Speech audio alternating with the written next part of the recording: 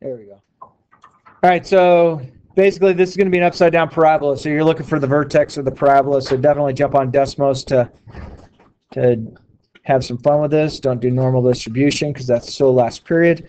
Uh, y equals 110x minus x squared minus 1,000 I don't know, I've gotta go home see if we can find it. Uh-oh. So we have, this is our parabola. Make it fat. Okay. All right. So we want to find the top of this parabola. So la-ti-da, squeeze, and oh, there we got both. Squeeze. All right, so just come up, find the very tip of your parabola. So it looks like if you create 55 widgets, that would be the maximum profit of $2,025. That's basically how you do that problem. That should be pretty simple, I think. If the profit, and again, um, ignore the um, 0 to 150 and the 0 to 5,000. Um, that's, if you're using the graphing calculator, you could jump on with that. So hope that makes sense. Copy time.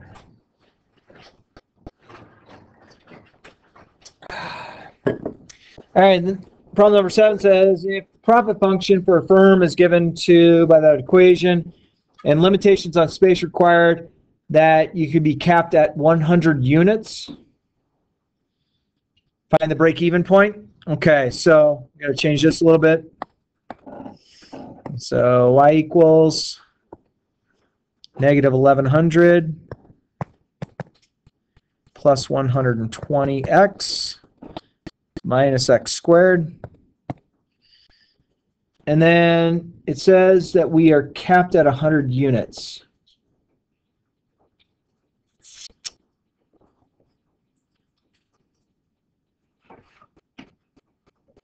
So it says, let's see, we're going to go back, take this down to home, and find it.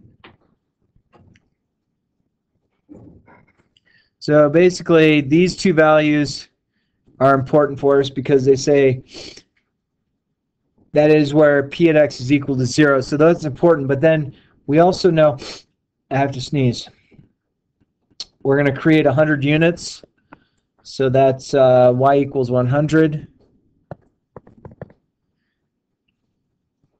So basically, these values here so because of spa space restrictions, looks like you can make 11 or 109 of these items, and that's where your limitation is. And then I don't know why they say find where p at x is equal to 0. Well, where p at x is equal to 0 is down here. It's those two values. So at 10 and at 110, that's what's taking place. So you have to realize on that one we're going to have a horizontal line that needs to take place. And then we did number eight, I think, right? Or was that one that we need to work out? Help me out. Did we do number eight or no? I think we did. I think we did. Okay. So we plug in 80, 350, 120, 300. And then you have another equation at 6280 and 140, 370. So you're going to have basically two lines crossing. Find that. Number nine, if the profit from the sale of X widgets is that equation, what levels of production will yield a profit of $1,000? Okay. Uh, so we have y equals 95x minus 200 minus x squared. And then profit, profit should be our p-value, so y equals 1,000. 1,000. And so I have to scroll up here till I get to 1,000. All right. So it looks like if I produce 15 units or 80 units, we're going to get the same profit. There's some sort of um, some sort of thing in place that if you produce more than that, you're make more money. If you produce less than that, seems funny. Like if you produce 90 units, you're going to be making less money. So it's obviously you know button it against your stuff. So you're just trying to figure out where you'd be making a thousand dollars profit.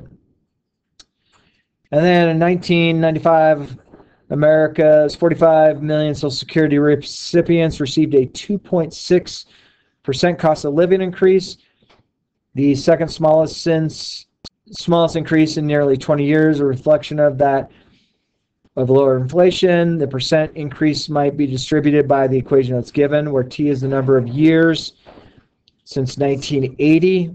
In what year does the model predict the highest rate? Okay, so that's going to be a parabola. So I'm going to go y equals for p at t. y equals negative 0.43. Oops. Negative 0.43. 4375 x squared plus 8.2 x minus 34.3625. Okay. So I don't even know where this one's going to be at. Oh, there it is.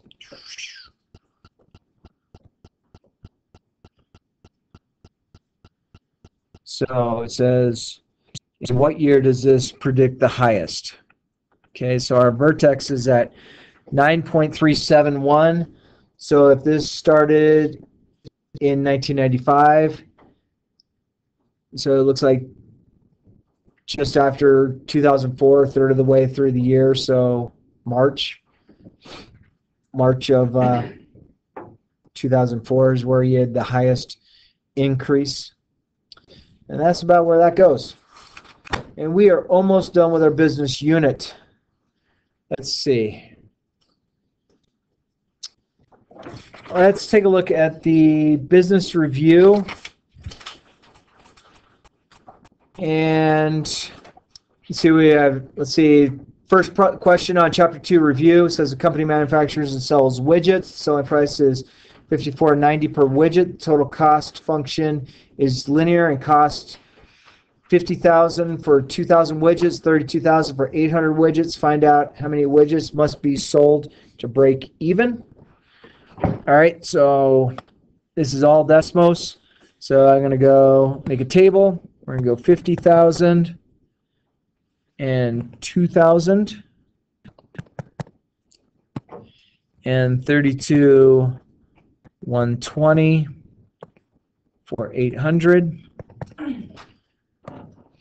and this is definitely following doing a line. So you go y use that tilde. Oops I forgot a 1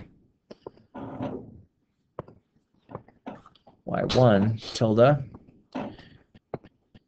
m x1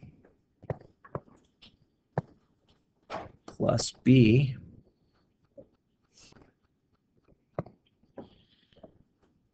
all right so a company sells widgets selling for 54.90 per widget. So this is our first equation.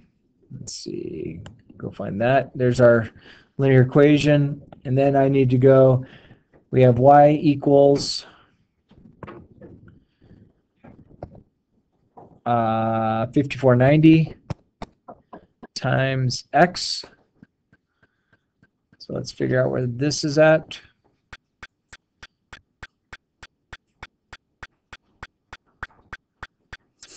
That's kind of a goofy looking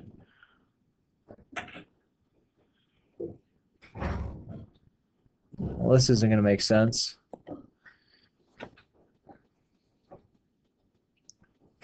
Fifty-four point nine per widget. Fifty and two thousand. Well,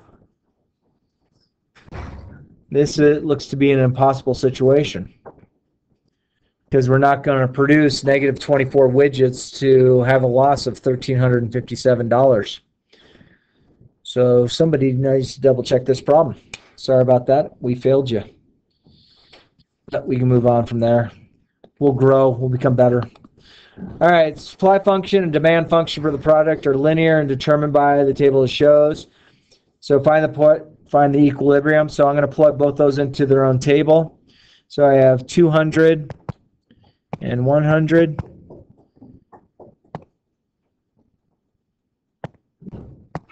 And then we have uh, 400 and 200. No coffin today. Mm -mm. Oops. And then 600, 300. All right, so if we find those dots, there's those dots. Looks like it forms a straight line, so I'm going to go y1, use tilde, mx1 plus b. So there's that linear equation. Then for this next one, I'm going to do our demand function. So we need to make another table.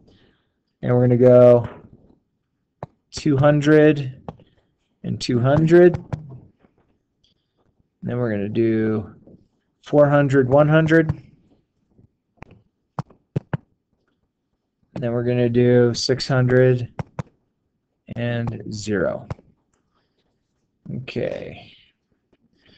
That's so that takes place. Now, when I want to make this linear equation, I'm not going to use y1 and y x1. I'm going to use x2 and y2. So I'm going to go y2 tilde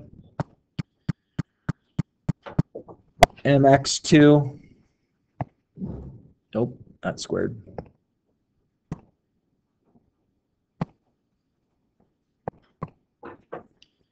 mx2 plus b. So there's our equation. Our equilibrium point is when we produce 300 units, 150, that's our break even. So that's pretty simple. And then number three, we don't have to worry about the graph. It says of the equations, P plus 6Q equals 420 and P plus equals 6Q plus 60. One is the supply for the product and one is the demand for the product. Graph the equations. Okay, so we can get rid of these.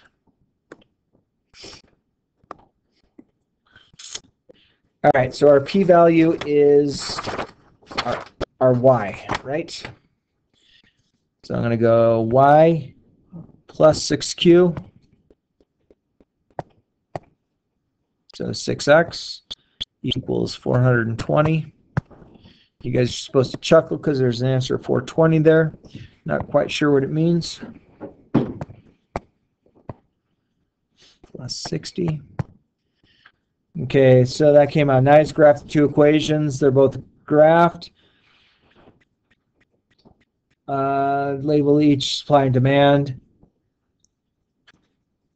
So purple and green, whatever. So at 300 comma 240 is our break-even point in this situation. Then if the demand function on a widget number four is given by p squared plus 5q equals 200 and supply is given by the other equation, find the equilibrium. You're just graphing them. So I have y squared plus 5x equals 200. There's our sideways parabola, beautiful. And then the other one is going to be 40 minus y to the second plus 3x equals 0. So look at that, two sideways parabolas, beautiful. Okay. Which point seems like the legitimate point to make? That we go with. Do we want to deal with negative numbers here? I'd say no. So our break even is at 20 units. We're making 10 bucks. That's our break even. Ignore the negative values. They're not going to affect us. We're just cruising through these. You guys have questions about how these work? I guess the big thing to remember when you have P and Q given, P is always the Y, Q is always the X unless they label it differently. Uh, number five, I don't know if I have to walk through number five. I'm pretty sure you'd be able to deal with number five. Number six should be fine as well. Seven. All right.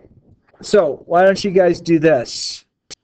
On that last page, give a try. So this is chapter two review. And if you have any questions, just go through five through nine. We might have a little bit of time to run through any of those tomorrow if you have any questions, but you can work on these. And then we will have our test on Schoology tomorrow, if that's okay with y'all.